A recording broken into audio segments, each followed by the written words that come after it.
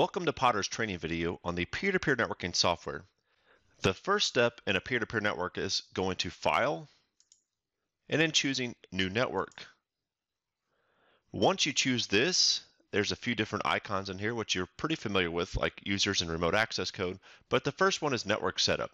Under Network Setup, this is where we're going to add all of our control panels to the entire network. The first option is Add New Panel. You can choose Add New Panel, and select a panel from the list in what you'll have to program later. The typical method in what you'll probably do is program all of your control panels as a standalone, then choose Upload and Add Panel. Once you click this, you'll get the transfer window. It's then going to ask you to enter the IP address of that particular control panel.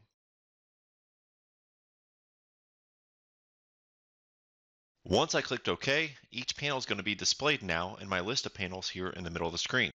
I'm going to add my other two panels that I have on my network.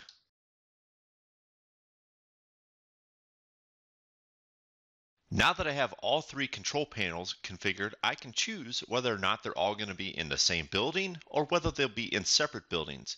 Now for my application, all three of my panels are going to be in a high-rise building, so in the same building. But if I needed to add additional buildings, I could simply click Add Building. I will keep adding buildings until I get to the appropriate number of buildings that match my application. Once I have the amount of buildings that I need on my system, now I can come up here to the individual panels and say, okay, panel number two is going to be assigned to building number two. And I'm doing this just by clicking in the box and then putting in the number of that particular building. But again, my system's all going to be in the same building, so I'm going to leave all of this as one, and I'm going to delete buildings number two and three. So now that I have my panels added to the network, I can go to my remote access code. Remote access code is similar to what you've been used to in all of our Potter control panels. And so if you change this, it's going to change the remote access username and password for all control panels on this network. Under users, this is going to be very similar to what we've always had under the users tab. So now if I click the plus icon, here's where you can choose which buildings that particular user can control from a network annunciator. So if I only wanted user number three to be able to control buildings number two and three, I could unselect building number one. Or if I wanted to only be able to control building number one, I could unselect building number two and three. This only pertains to network annunciators and will not affect the control of individual control panels. Once you've made all of your selections, you can minimize and then make sure your other selections are according to how you want your setup portrayed. Now we can go to the individual panel tabs at the top and change any information you need to have completed here. All of the information that can be changed under the individual panel tabs are available in separate training videos.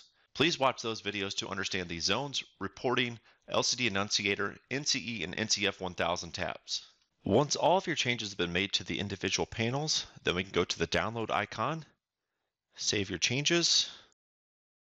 Now from here, instead of doing the individual IP addresses, you can just download to the network as a network ID of one. So if I press OK, then it's going to download to all of those control panels at the same time. Now I'll have one full peer-to-peer -peer network. Thank you for watching this video on how to program for peer-to-peer -peer panels on the Potter network. If you have any additional questions, please feel free to contact tech support at the email address or phone number shown on the screen. And as always, don't forget to follow us on social media.